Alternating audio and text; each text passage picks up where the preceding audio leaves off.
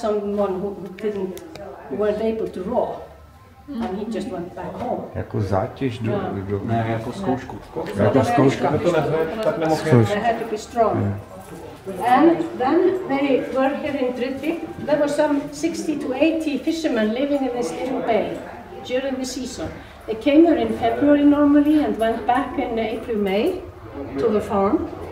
And they just had, um, it was, they really just slept in tents. It was just uh, like uh, rocks on the ground. They, they, um, they made walls uh, out of the stones, and then they just had a kind of, of tent over it. And there they slept, and of course, when they started in, in February, it was all snowy, and they had to start by by uh, by cleaning the, the, the place, and then they lived there for these three four months. But they really loved it. Then they were free. They met people from from other places. They exchanged stories.